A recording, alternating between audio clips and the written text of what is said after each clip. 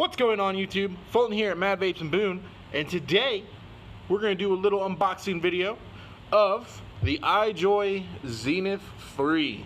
Now, this mod right here is very special because I already took it out of the box. As you can see, there's no screen on it whatsoever. In this lovely box, as you can see, there's a little sticker in there. It says 2700s are included with this bundle. So you don't even have to buy batteries with this guy. You got to buy this kit and you already get batteries. So we'll go ahead and take off the sleeve and unbox it real quick. Right in here, that's where the mod and the tank lie. Mod tank right here. We'll go over that in just a second. But you also do have a replacement glass that matches the color of the Zenith. Very important things right there. A nice piece of foam to keep everything in place. And a lovely box filled with goodies. Now in here, you will find uh, extra grommets and uh, a vape band to help you out so you don't break your glass. It's always fun. An extra coil for the tank that comes on top.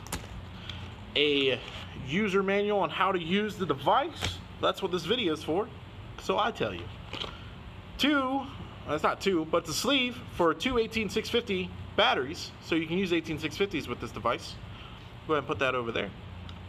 And a charging cable, and lastly, two 2700 batteries that come with the device.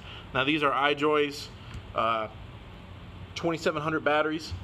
They are 3000 mAh, so in total you'll have 6000 milliamp hours to play with with this device. So that's enough about what comes in the box. Let's actually look at the mod itself. So I'm gonna go ahead and put some batteries in this device. Throw my tank on so we can see what it does. When you do put the batteries inside of the device, they fit in just like so. Nice and snug. So you got a little ribbon right here. So you can pull the batteries out a little bit later whenever you need to charge them. Go ahead and close that bad boy up. It is already on. Okay, and you see here you actually have a little dial. Uh, it actually has different variable voltage settings that you can set it to from 2.4 all the way to 6.8. So if you're used to wattage, then that means it goes all the way up to 300 watts. I like to hit mine around 3.4, so this is 3.4.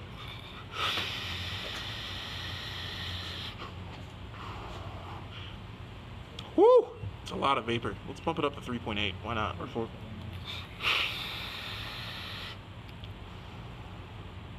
Oh, it's a little burnt. So, as you can see, you can fine tune your hits with this little dial. Makes a little beep noise. So you know when you change it. Overall, I think this is a solid device. It's kind of mechanical and it's kind of not. There is a chip inside. There is a chip inside, so it is regulated, but you get that unregulated feel because you can bump it up so high. That's due to the power of the 2700s that do come with the device. So I highly recommend you use those batteries and buy some extra ones while you're here. And yeah, overall, I think it's a solid device. So it has a nice sleek look. Very, very clean looking. I really enjoy this mod. I might pick this one up. You never know. But we were right. But we will have more colors in the future, not just red. So if you're interested, definitely come on down to Mad Vapes of Boone. We're located at 240 Shadowline Drive in Boone, North Carolina in the Harris Teeter parking lot. You'll see us there.